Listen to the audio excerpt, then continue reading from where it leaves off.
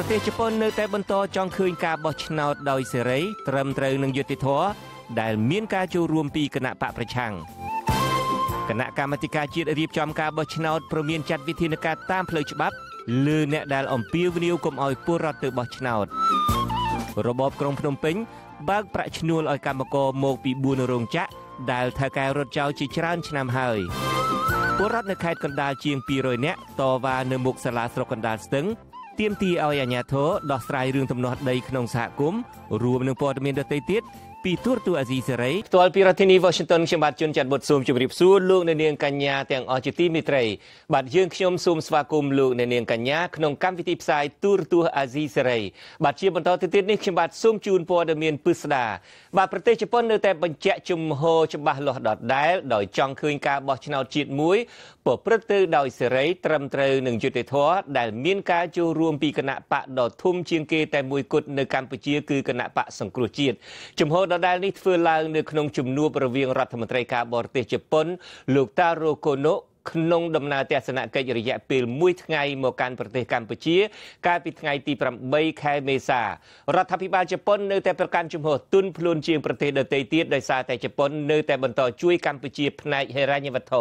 លោកបណ្ឌិតឡាវម៉ុងហៃមើលឃើញថានេះគឺជាការលើកទឹកចិត្តមួយឲ្យរបបលោកហ៊ុនសែនបន្ទន់អេរីយ៉ាបតពាក់ព័ន្ធនឹងការបោះឆ្នោតលោកបណ្ឌិតមានសុតិធិនិយមថាអេរីយ៉ាបតរបស់ជប៉ុននឹងនាំឲ្យមានការធ្វើសម្បទានមួយ។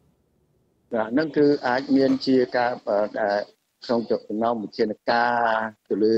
គណៈបកសង្គ្រោះហ្នឹងដើម្បីឲ្យឃើញថាដែលការបោះឆ្នោតហ្នឹងគឺអាចមានភាពសេរីយុត្តិធម៌មួយកម្រិតចឹងទៅដូចជាការហាមឃាត់មិនឲ្យឋានៈដឹកនាំសង្គ្រោះជាតិនឹង118នាក់នឹងប្រហែលជាអាចមានការបទូថយឬក៏លែងហាមឃាត់ទៅវិញ ប៉ុន្តែប្រហែលជាដល់គៀកការបោះឆ្នោតបាទបាទទោះជាយ៉ាងនេះក្តីលោកបណ្ឌិតឡាវម៉ុងហៃគ្មាន សង្ឃឹមថារបបលោកហ៊ុនសែននឹងព្រមអនុញ្ញាតឲ្យគណៈបកសង្គ្រោះជាតិចូលរួមក្នុងការបោះឆ្នោតជាតិខាងមុខនេះឡើយក៏ប៉ុន្តែបើគ្មានវត្តមានគណៈបកសង្គ្រោះជាតិក្នុងការបោះឆ្នោតខាងមុខប្រធានចលនាសង្គ្រោះជាតិមិនព្រមជាដាច់ខាត លោកសំរៀងស៊ីក្នុងបទសម្ភាសន៍មួយជាមួយវិទ្យុអាស៊ីសេរីកាលពីថ្ងៃទី8ខែមេសាបានអំពាវនាវឲ្យពលរដ្ឋម្ចាស់ឆ្នោតធ្វើពហិការគុំទៅចូលរួមបោះឆ្នោតនៅថ្ងៃទី29ខែកក្កដាខាងមុខនេះឲ្យសោះបើគ្មានឈ្មោះគណៈបកសង្គ្រោះជាតិលើសញ្ញាឆ្នោតទេ មិនតែប៉ុណ្ណោះលោកបានអំពាវនាវឲ្យអ្នកសង្កេតការជាតិនិងអន្តរជាតិ គុំទៅចូលរួមឃ្លាំមើលការបោះឆ្នោតបែបនេះដែរពីព្រោះលោកថាវាជាការបោះឆ្នោតคล้ายคล้ายរៀបចំឡើងគ្រាន់តែដើម្បីឲ្យគណៈបកកាន់អំណាចសពថ្ងៃឈ្នះយ៉ាងងាយដោយបំបត្តិគូប្រកួតពិតប្រកបតែមួយគត់គឺគណៈបកសង្គ្រោះជាតិ ជប៉ុនក៏លើកទឹកចិត្តឲ្យភាគីនយោបាយខ្មែរវិលរកការចរចាគ្នានេះដែរដើម្បីឲ្យមានការចូលរួមស្មើភាពគ្នាពីគ្រប់ភាគីទាំងអស់ក្នុងការបោះឆ្នោតស្របពេលដែលសហគមន៍អន្តរជាតិបានប្រមានរួយទៅហើយថានឹងមិនទទួលស្គាល់លទ្ធផលបោះឆ្នោតនោះទេប្រសិនបើគ្មានគណៈបកប្រឆាំងចូលរួម។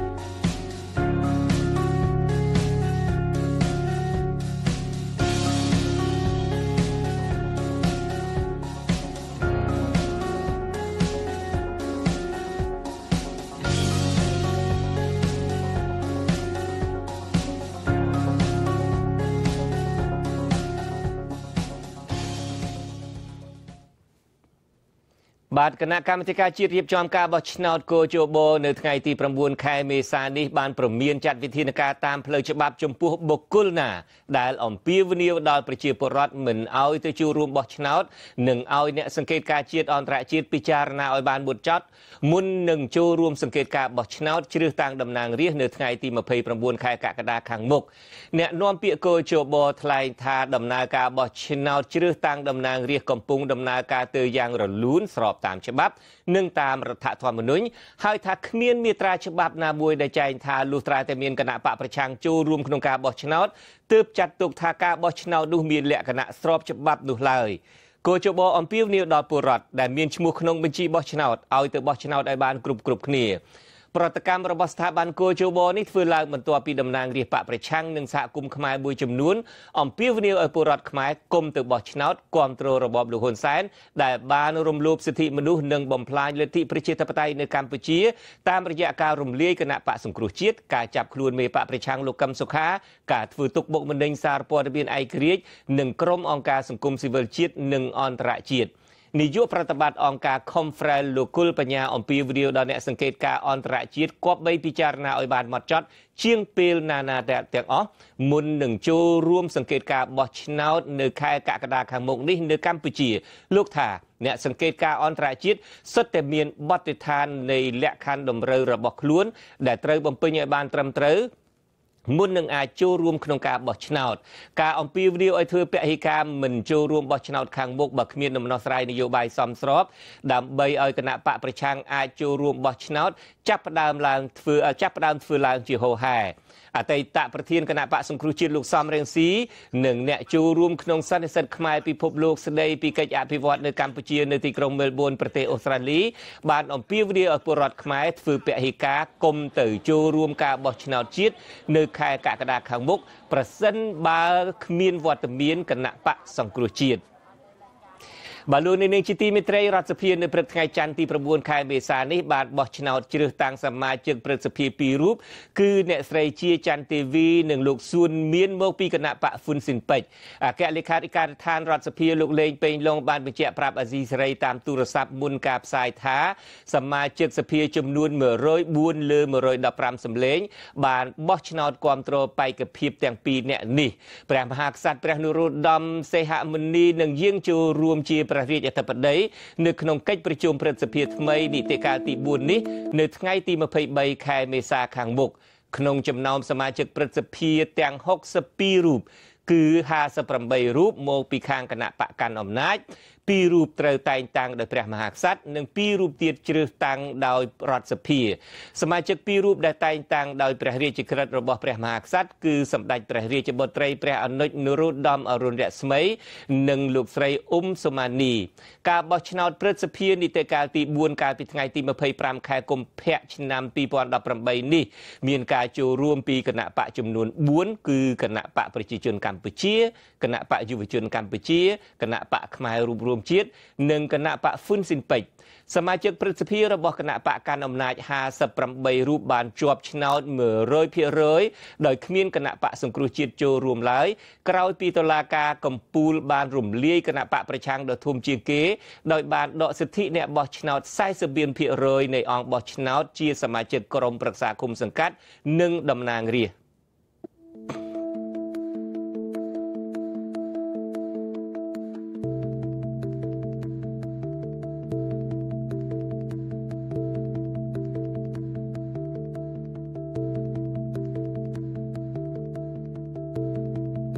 អ្វីខ្លះដែលត្រូវស្វែងយល់ពីកម្ពុជា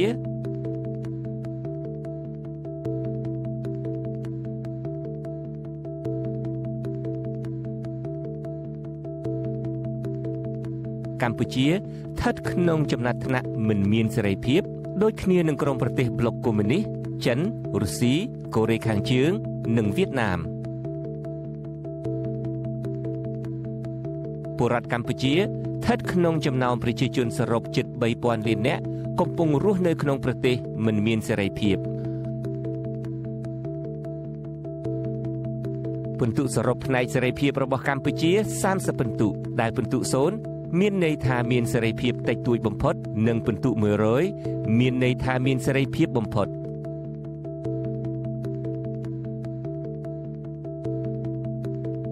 សេរីភាពនៅកម្ពុជា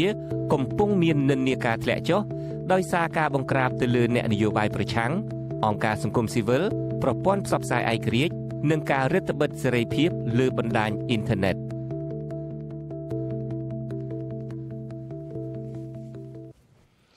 បាទអតីតអ្នកទោសមនសិការសង្គមស៊ីវិលអ្នកវិភាគចាត់ទុកការមិនព្រមដោះលែងអ្នកទោសមនសិការនិងសកម្មជនដីធ្លីក្នុងឱកាសពិធីបុណ្យចូលឆ្នាំប្រពៃណីជាតិថាជាការគុំគួនសងសឹក ពាក់ព័ន្ធនឹងរឿងនយោបាយដើម្បីបន្តដាក់សម្ពាធទៅលើគណៈបកប្រឆាំងអតីតអ្នកទោសមនសិការនៅពន្ធនាគារត្រពាំង plong និងជាអតីតអ្នករងគ្រោះក្នុងតំបន់បឹងកក់លោកច័ន្ទពុទ្ធិស័កហៅវីរភាពក្នុងការទៀមទាយុតិធធសង្គមនិងការងើបទៀមទាដីនៅតំបន់បឹងកក់បានធ្វើឲ្យរបបក្រុងភ្នំពេញស្អប់អ្នកបឹងកក់ជាខ្លាំង ជាពិសេសគឺមេដឹកនាំសហគមន៍អ្នកស្រីទេពវណ្ណីដោយបានចាប់តំណាងរបស់ពួកគេឃុំខ្លួនដោយគ្មានទោសកំហុសនិងមិនព្រមដោះលែងឲ្យមានសេរីភាពឡើងវិញ។ មកដល់ពេលនេះ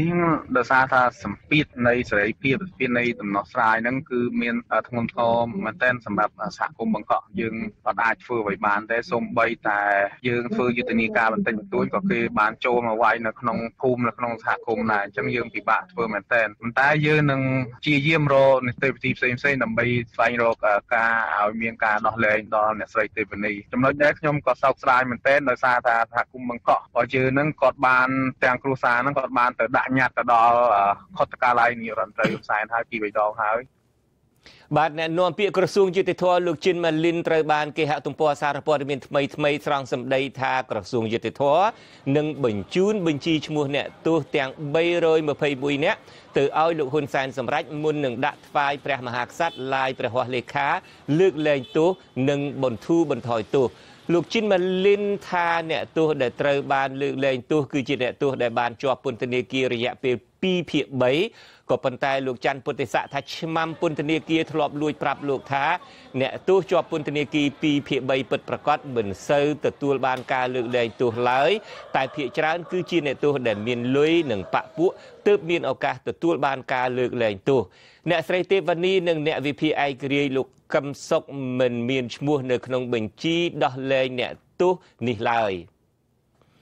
បាឡូននាងជាទីមេត្រីរបបក្រុងភ្នំពេញនៅថ្ងៃទី9ខែមេសានេះបានបើកប្រាក់ឈ្នួលឲ្យកម្មករចំនួន4រោងចក្រដែលថៅកែរត់ចោលជាច្រើនឆ្នាំមកហើយកម្មករម្នាក់ម្នាក់អាចទទួលបានថវិកាចាប់ពី1000ដុល្លារនិងខ្លះទៀតទទួលបានក្រោម1000ដុល្លារ សហជីពយល់ឃើញថានេះគឺជារឿងល្អនិងអំពាវនាវឲ្យរបបក្រុងភ្នំពេញបើកលុយឲ្យកម្មករដែលថាការរត់ចោលឲ្យបានគ្រប់គ្រប់គ្នា ដើម្បីឲ្យពួកគាត់អាចទៅលេងស្រុកកំណើតបាននៅក្នុងរដូវបុណ្យចូលឆ្នាំកម្មករចំនួន4រោងចក្រដែលទទួលបានសំណងពីក្រសួងការងារនោះ រួមមានរោងចក្រ Gate Ner រោងចក្រ Bino រោងចក្រជុងហ្វៃនិងរោងចក្រ IFA ក៏ប៉ុន្តែពុំមានក្រុមកម្មករកម្មការនីដែលមានចំនួនជាមួយថៅកែរោងចក្រ First Garden Apparel នោះទេ កម្មករប្រាប់ថាពួកគាត់ភ័យច្រើន បាននាំគ្នាវិច្ចានឆ្នាំងមុងកន្ទេល មកចងតង់ដេកនៅខាងមុខរោងចក្រដើម្បីទាមទារតវ៉ាប្រាក់សំណងឲ្យបានមុនចូលឆ្នាំព្រោះ3ខែហើយ ដែលពួកគាត់មិនទាន់ទទួលបានប្រាក់ឈ្នួល ពួកគាត់ត្អូញត្អែថាគ្មានប្រាក់បង់ថ្លៃផ្ទះនិងមានអ្នកខ្លះជំពាក់ធនាគារថែមទៀតផងលោកហ៊ុនសែនកាលពីចុងខែកុម្ភៈបានផ្ដល់ប្រាក់បូរេប្រទានរបស់រដ្ឋចំនួន4លាន6សែនដុល្លារដើម្បីទូទាត់ប្រាក់ឈ្នួលដល់កម្មករដែលថៅកែរោងចក្របានរត់ចោល ប្រធានសហភាពការងារកម្ពុជាលោកអាត់ធុនស្វាគមន៍ការផ្ដល់ប្រាក់បូរេប្រទាននេះក៏ប៉ុន្តែលោកស្នើឲ្យក្រសួងការងារជួយអន្តរាគមន៍ទៅថៅកែរោងចក្រដែលនៅមិនទាន់បើកប្រាក់ឈ្នួលឲ្យកម្មករដើម្បីឲ្យពួកគេបានទៅលេងស្រុកកំណើតក្នុងពិធីបុណ្យចូលឆ្នាំខ្មែរផង។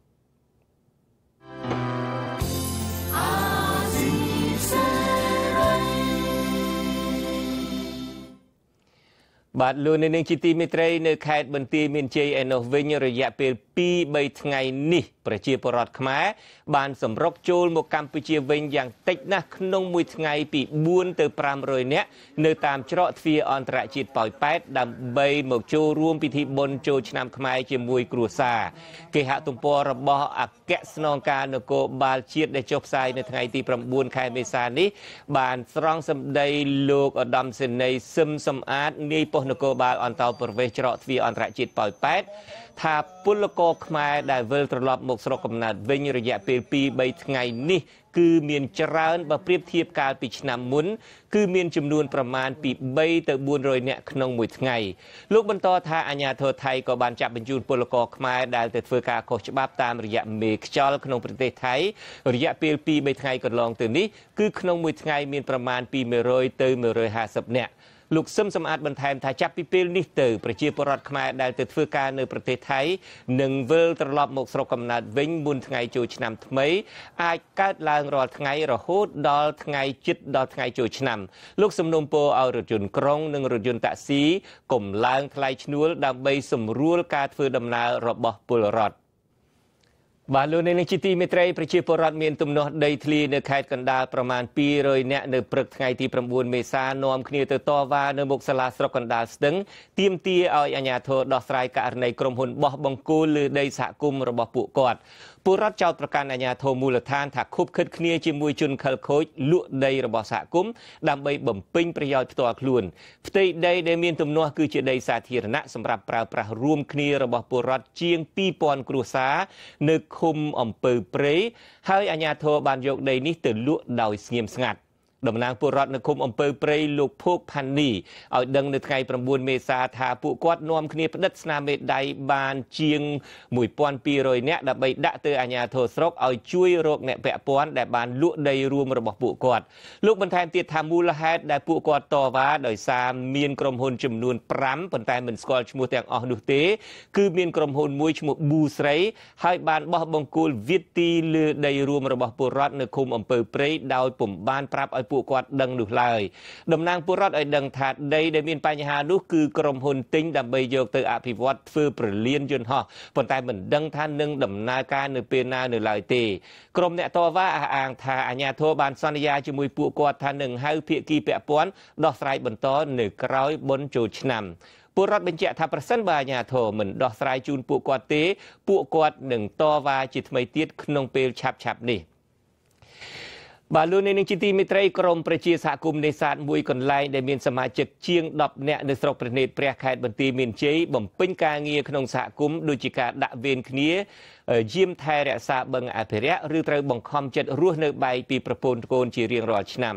តើប្រជាសហគមន៍មួយនេះជួបប្រទះការលំបាកអ្វីខ្លះក្នុងការថែរក្សាបឹងមួយនេះលោកហេងសកលមានសេចក្តីរាយការណ៍ដូចតទៅ ប្រជាសហគមន៍នេសាទនៅឃុំប្រាសាទស្រុកប្រណេតព្រះជារៀងរាល់ថ្ងៃពួកគាត់តែងតែមកជួបជុំគ្នាដើម្បីដើរល្បាតនិងទប់ស្កាត់ការនេសាទខុសច្បាប់នៅបឹងអភិរក្សដង្កៀបក្តាមនេះទាំងយប់ទាំងថ្ងៃបឹងដង្កៀបក្តាមជាទីកន្លែងអភិរក្សត្រីដ៏ធំនៅក្នុងស្រុកប្រណេតព្រះដែលអាចជួយបង្កើននៅពូជត្រីឲ្យកាន់តែច្រើននៅរដូវទឹកឡើងទន្ទឹមនឹងគ្នានេះប្រសិនបើពុំមានអ្នកអភិរក្សនៅតំបន់នោះឲ្យបានល្អនឹងធ្វើឲ្យធនធានមច្ឆាជាតិថយចុះហើយប៉ះពាល់ដល់របរធ្វើនេសាទរបស់ពលរដ្ឋនៅតំបន់នោះនៅថ្ងៃខាងមុខជាពំខាន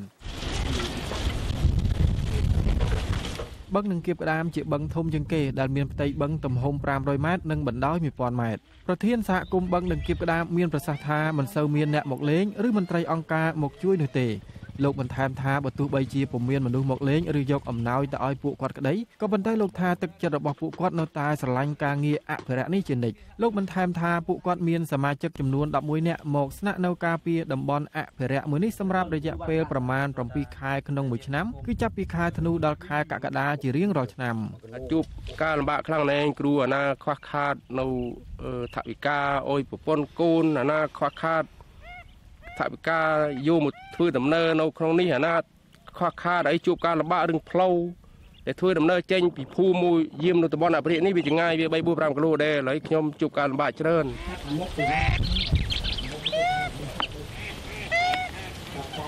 លោកឡំឡាយបន្តថាពួកគាត់រស់នៅបែកប្រពន្ធកូនមកការពារតំបន់អភិរក្សទាំងយប់ទាំងថ្ងៃដើម្បីថែរក្សាធនធានធម្មជាតិរួមមានត្រីសត្វស្លាបនៅតំបន់អភិរក្សមួយនេះឲ្យបានគង់វង្សប៉ះពាល់ដល់ផលប្រយោជន៍រួមប្រ ជាពលរដ្ឋយើងទាំងអស់គ្នាណាបើយើងមិនខំការពារព្រោះហើយខ្ញុំចេះតែគិតខំការពារទៅក្រលំបាកអត់ឃ្លានយ៉ាងណាខ្ញុំចេះតែមកទៅគ្រូ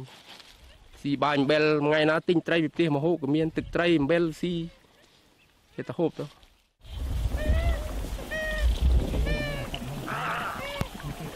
ប្រជាសហគមន៍បឹងនឹងគៀបក្តាមម្នាក់ទៀតប្រាប់ថាលោកស្ម័គ្រចិត្តធ្វើជាអ្នកអភិរក្សក្នុងសហគមន៍មួយនេះជាង3ឆ្នាំមកហើយ លោកបន្ថែមថាមូលហេតុដែលលោកចូលធ្វើការជាមន្ត្រីសហគមន៍ដោយស្រឡាញ់ធនធានធម្មជាតិនិងចង់ថែរក្សាសម្បត្តិទាំងនោះឲ្យបានគង់វង្សយូរអង្វែងតទៅមុខទៀតខ្ញុំស្នើសុំមួយចំនួនឲ្យបងប្អូននៅក្នុងឃុំរបស់យើងឲ្យចេះយល់ពីតម្លៃដែលបងប្អូនដែលបងប្អូនខ្ញុំដែលមកយាមនេះគឺដើម្បីថែរក្សាទេមិនបីអ្វីជាទល់ខ្លួនទេហើយឲ្យបងប្អូនចាប់អារម្មណ៍ឲ្យច្រើននឹងកលែងសហគមន៍របស់យើងនេះព្រោះថាជា ជាពូជជាធាមួយ ដែលយើងត្រូវ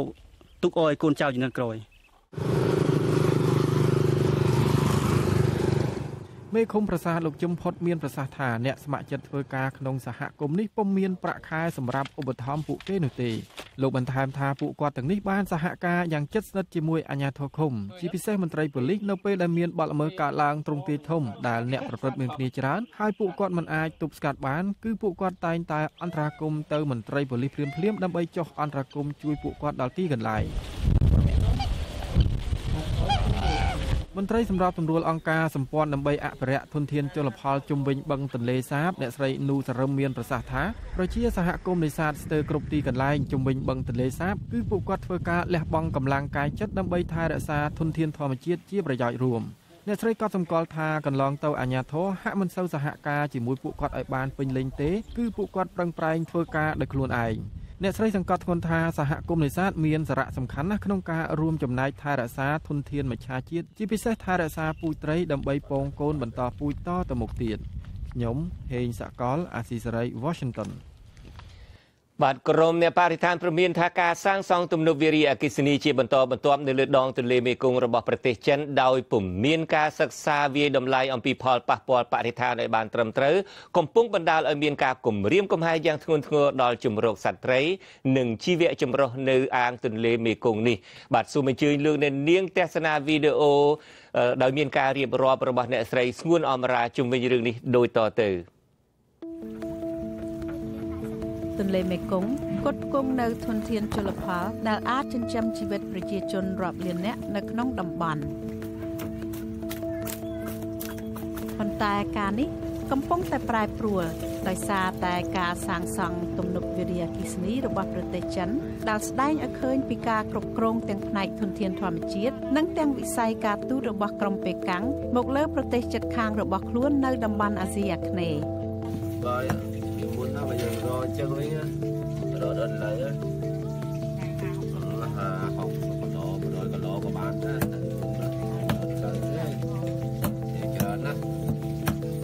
ទន្លេមេគង្គមានប្រភពចេញមកពីខ្ពង់រាបទីបេហូរកាត់តាមប្រទេសមីយ៉ាន់ម៉ាឡាវថៃកម្ពុជា និងប្រទេសវៀតណាមប៉ុន្តែប្រទេសចិនដែលស្ថិតនៅភាគខាងលើនៃខ្សែទឹកគឺជាអ្នកគ្រប់គ្រងលំហូរទឹកទន្លេ ក្រុមអ្នកបរិស្ថានព្រមានថាការសាងសង់ទំនប់វារីអគ្គិសនីបណ្ដាលឲ្យមានការគំរាមកំហែងយ៉ាងធ្ងន់ធ្ងរដល់ជំរកសត្វត្រីព្រមទាំងធ្វើឲ្យប្រជាជនរាប់ម៉ឺននាក់ត្រូវផ្លាស់ទីលំនៅដោយសារតែទឹកជំនន់បើអត់កុហកដែរពួកខ្ញុំដល់មានការងារធ្វើអត់មានដីធ្វើចំការគេទេឬតែនៅទៅរហូតក្រុមហ៊ុនចិន កំពុងវិនិយោគទឹកប្រាក់រាប់ពាន់លានដុល្លារសម្រាប់គម្រោងសាងសង់ទំនប់វារីអគ្គិសនីថ្មីទាំងនេះប៉ុន្តែក្រុមហ៊ុនទាំងនេះបានខកខានមិនបានធ្វើការសិក្សាវាយតម្លៃអំពីផលប៉ះពាល់បរិស្ថានឲ្យបានត្រឹមត្រូវនោះទេ បាទលោកនាងកញ្ញាទើបតែបានទស្សនាទូរទស្សន៍អាស៊ីសេរីផ្សាយចេញពីរដ្ឋធានី Washington នៃសហរដ្ឋអាមេរិកខ្ញុំបាទជួនច័ន្ទបុតព្រមទាំងក្រុមការងារទាំងអស់នៃទូរទស្សន៍និងវិទ្យុអាស៊ីសេរីសូមជូនពរលោកនាងកញ្ញាព្រមទាំងក្រុមគ្រួសារឲ្យជួបប្រកបតែនឹងសេចក្តីសុខគ្រប់ប្រការបាទខ្ញុំបាទសូមអរគុណនិងសូមជម្រាបលារីត្រីសុស្ដី